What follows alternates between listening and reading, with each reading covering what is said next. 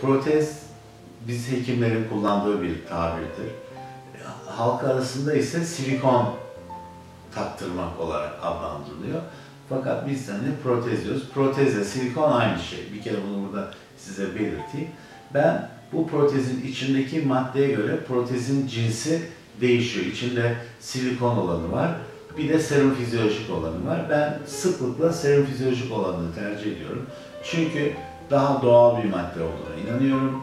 Ee, bildiğiniz gibi serum fizyolojik normal su ve içinde e, 1 litre suda 9 gram tuz içeren bir tuzlu solüsyon. Biz bunu burnumuza damlatıyoruz, gözümüze damlatıyoruz. Bu fizyolojik bir sıvı olduğu için de adına serum fizyolojik diyoruz. Bu içine, protezin içine serum fizyolojik dolduruyoruz ameliyat sırasında.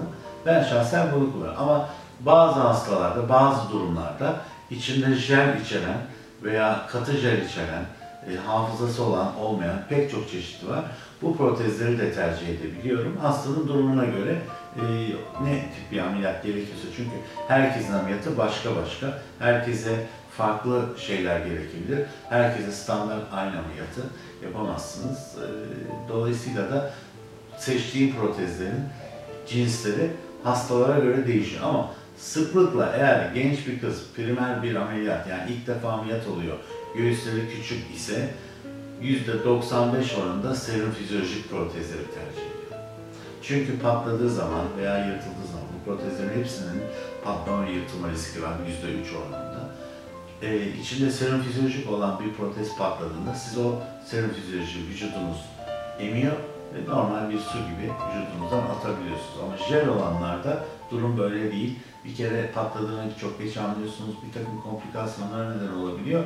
Ben e, bu yüzden birazcık daha işin sağlık yönünün daha önde olduğunu düşünüyorum. Estetikle sağlık zaten birlikte olması zorunda. Yani estetik olacak diye sağlıktan faydası olmayan, zararı olan şeyleri kullanmak doğru değil. Bu yüzden e, serum fizyolojikleri daha sıklıkla tercih ediyorum.